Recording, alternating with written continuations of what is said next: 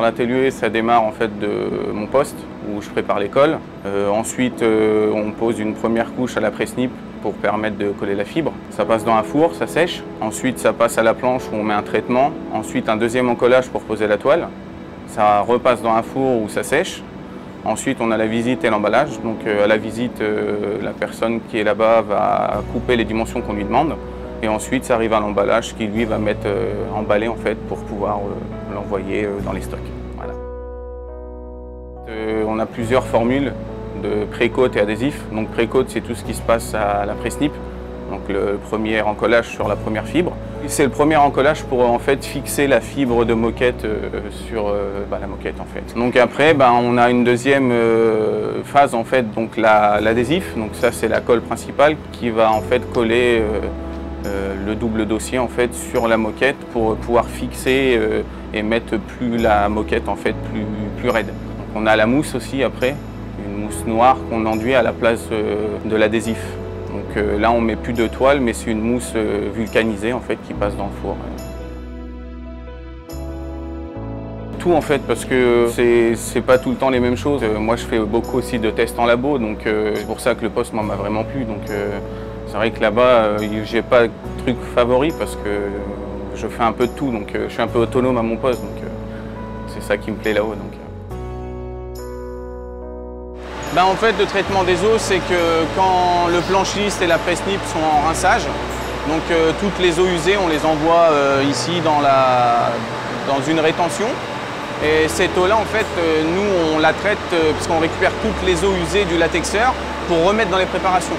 Et quand il y en a trop, qu'il y a des nettoyages de fin d'année ou pendant les vacances, il y a un gros stock d'eau que moi je traite donc en haut et euh, ça permet en fait euh, de renvoyer tout à la station, mais euh, d'enlever toute la charge qu'il y a au niveau des eaux usées.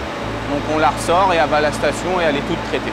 Moi je récupère les eaux usées de rinçage, donc non traitées, que je réintroduis dans les préparations.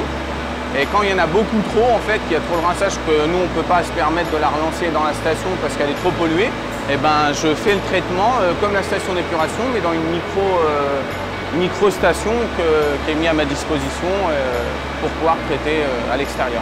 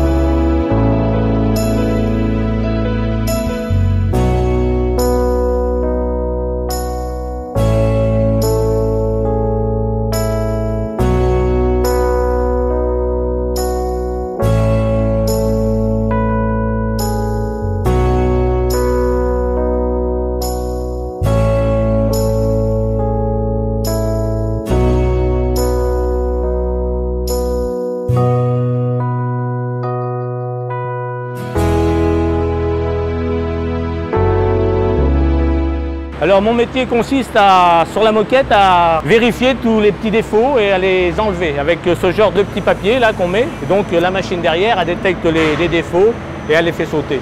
Ça part soit en chute ou alors en petits morceaux en palette. Eh ben, les moments forts, c'est comme là, quand euh, il y a un problème, donc il va falloir euh, couper la moquette ou découper sur les côtés pour remettre la moquette euh, d'aplomb dans les, dans les réserves là-bas à l'arrière. Par moment, il y a des chauves-souris qui sortent à travers les, ventilateurs là-haut. Ouais, j'ai fait une petite bêtise un jour, mais il y a 8 ans maintenant, j'espère que Monsieur Charton, si je peux le citer, n'en voudra pas. C'est qu'en en fait, j'ai un viscosimètre où en fait, on prend la viscosité de colle. Et un jour, il me l'a emmené et au bout d'une semaine, en fait, bah, j'ai cassé le verre. Il est tombé sans faire exprès. Donc euh, le soir, euh, je l'ai pris, je l'ai emmené à la maison. Et puis bah, mon papa, qui est très bricolo, euh, l'a pris et puis il a récupéré en fait un masque de soudure. Ils ont récupéré le verre.